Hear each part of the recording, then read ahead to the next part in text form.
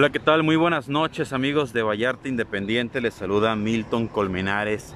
Estamos transmitiendo completamente en vivo desde Puerto Vallarta, Jalisco.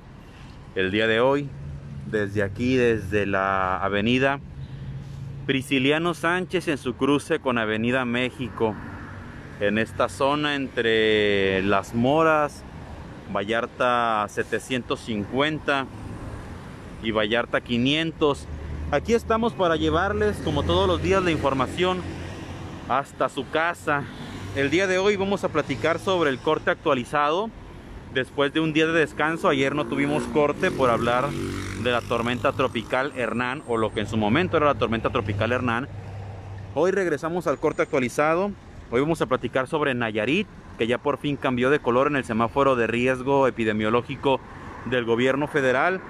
Vamos a hablar justamente eh, sobre el paso de, este, de esta tormenta tropical Hernán aquí en el estado de Jalisco, en el estado de Nayarit. Y por último, pero no menos importante, vamos a volver a reiterar este tema de la inseguridad que sigue creciendo en Puerto Vallarta y lamentablemente pues no tenemos o no vemos, no apreciamos alguna estrategia para que pueda de alguna manera bajar este índice delictivo sobre todo en ciertos eh, aspectos, ciertos puntos que ya platicaremos un poquito más adelante. Vámonos entonces con el corte actualizado, somos 200 personas, ojalá nos apoyen compartiendo esta transmisión para llegar a ser bastantes eh, personas más para poder llegar a una mayor cantidad de gente. Decirle que en las últimas 48 horas en Puerto Vallarta se registraron 58 casos más de COVID-19. ¿Por qué digo las últimas 48 horas? Le repito, ayer no tuvimos corte actualizado. Con estos 58 casos nuevos de los últimos dos días ya hay 1.622 casos totales en Puerto Vallarta. La cifra de fallecidos creció a 186 y hay 106 casos activos. En Bahía de Bandera son 10 casos más en los mismos dos días para 544 casos totales hay 65 decesos y 26 personas activas.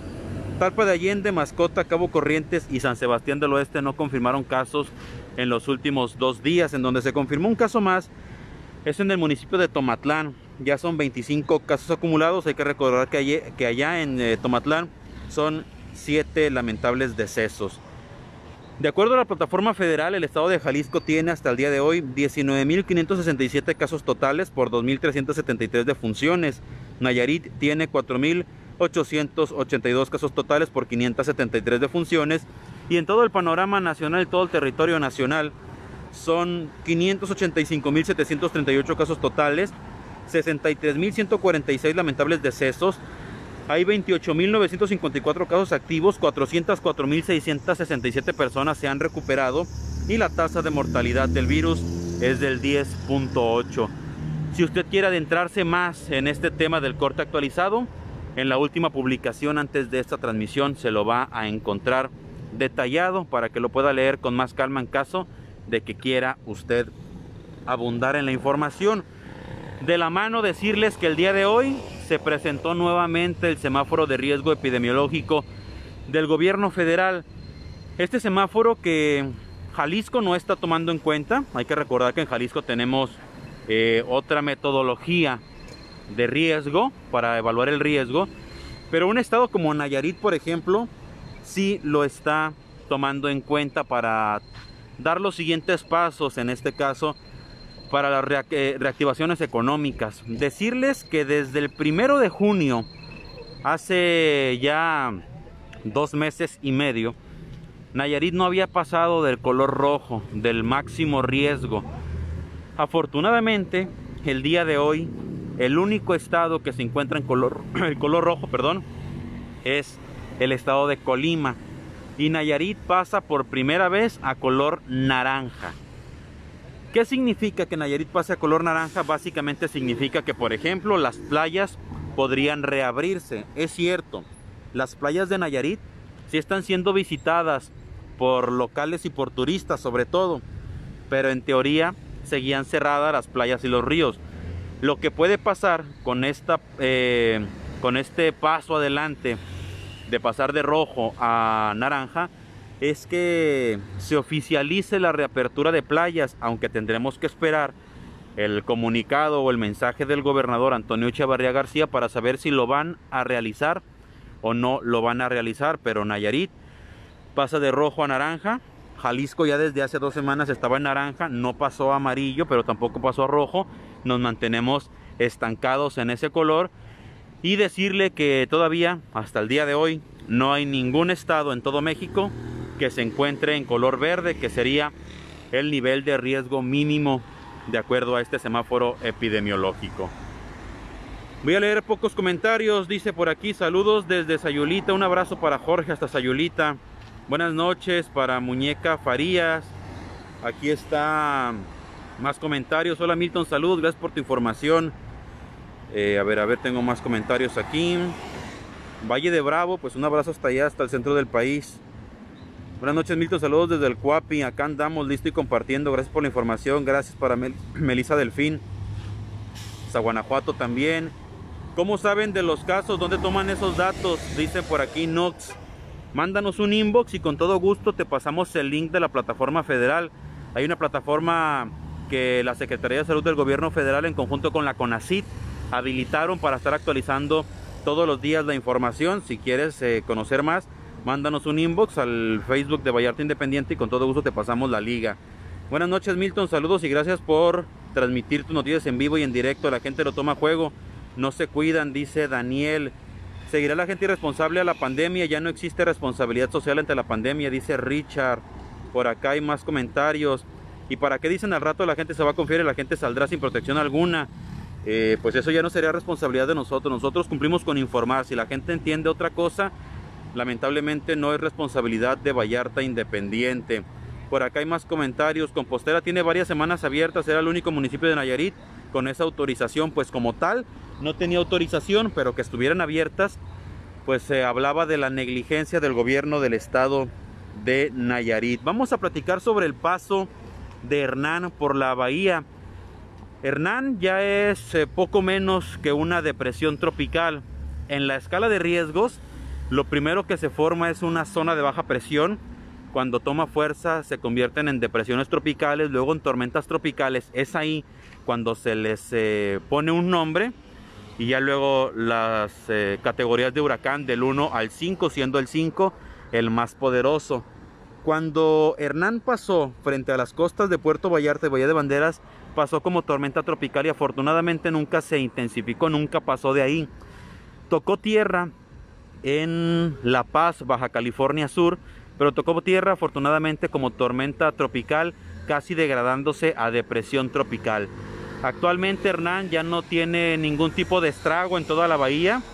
Más o menos a la una de la tarde dejó de llover en prácticamente toda la región.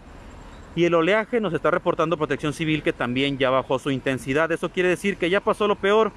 Nos dice Protección Civil que los daños considerables se dieron en los municipios de La Huerta, de Cihuatlán y un poco también en Tomatlán y Cabo Corrientes. Sin embargo, aquí en Puerto Vallarta y también en Bahía de Banderas Nayarit hay saldo blanco y hay nulas afectaciones.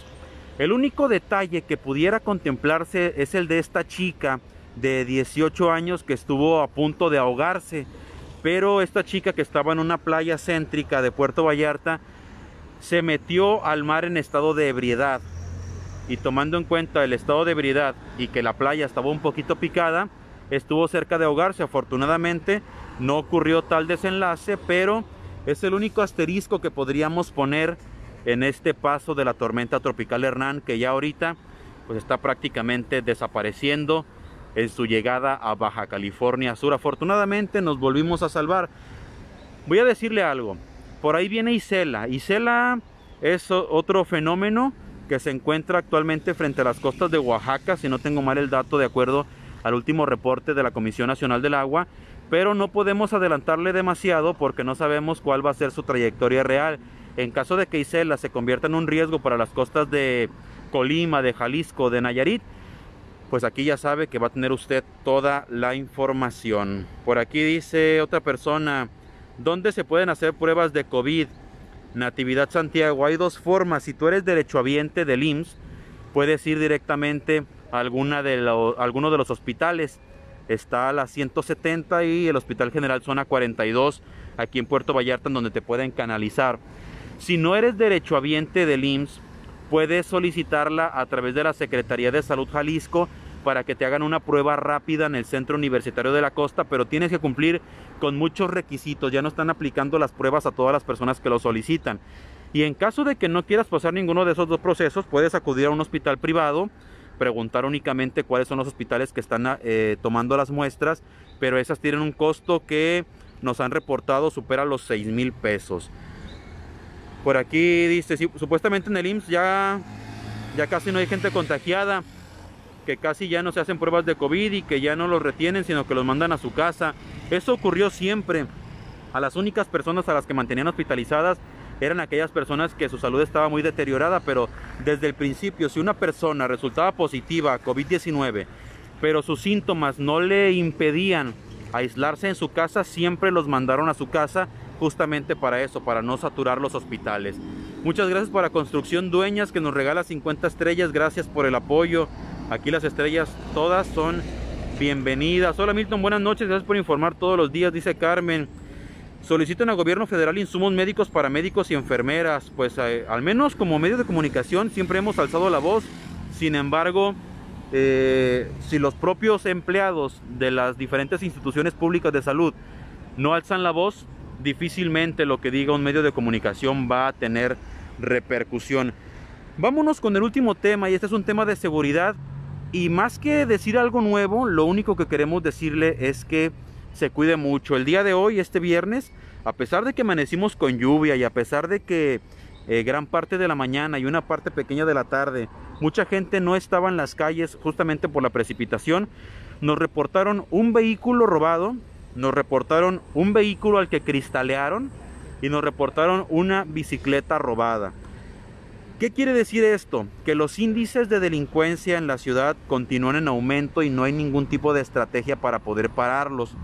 Se combinan la necesidad por esta crisis sanitaria que se convirtió en crisis económica y también eh, entran ahí en juego pues aquellas personas baquetonas que están esperando cualquier tipo de, pretexto para poder robar o para poder eh, hacer sus maldades. Le repito, un vehículo robado el día de hoy un vehículo cristaleado en un estacionamiento de la Mega, Mega Soriana se llama ahora, ahí eh, a un lado del Office Max, y una bicicleta robada.